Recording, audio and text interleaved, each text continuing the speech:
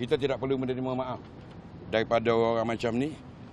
Uh, sebab saya memerhatikan sejak Zahid ni masuk parti Bunga Raya ni, dia semakin hari semakin celupat. Jadi pengajaran yang paling berguna untuk dia, heret dia ke mahkamah,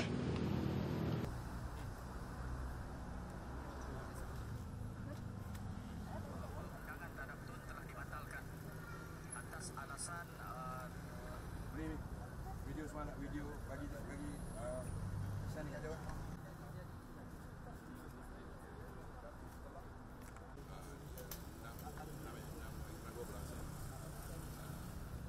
nak nak